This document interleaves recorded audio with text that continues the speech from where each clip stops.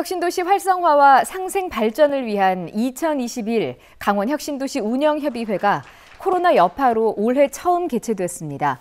강원도와 원주시 13개 이전 공공기관 등으로 구성된 강원 혁신도시 운영협의체는 오늘 원주 인터불고에서 회의를 열고 지역 발전을 위한 현안을 논의했습니다. 강원도는 국가혁신 클러스터 사업 등에 대한 이전 공공기관들의 적극적인 지원을 요청하고 사회적 경제기업들의 제품 구매, 사회 공헌 사업 등에 참여를 요구했습니다.